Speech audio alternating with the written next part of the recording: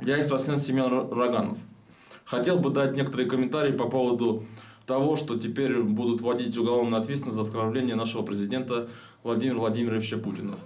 Я считаю это правильным. Потому что если вы имеете какие-то доводы, какие-то э, противоречия с ним, э, объясняйте это правильно, грамотно выражаясь, как-то красиво, может быть, чтобы он это услышал, чтобы это услышали все. И не надо оскорблять нашего президента! Doo, doo.